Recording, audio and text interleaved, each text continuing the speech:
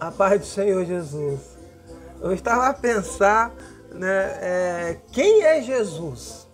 Quem é Jesus? Ó, Jesus para o cego, ele é a luz. Para o, o, o faminto, o pão da vida. Para o sedento, ele é Je, Jesus é a água da vida. Para o enfermo, Jesus é a cura, né? Para o, o morto, Jesus é vida. Né? E para você, o que é Jesus? Jesus é tudo, irmão. Jesus é tudo para nós.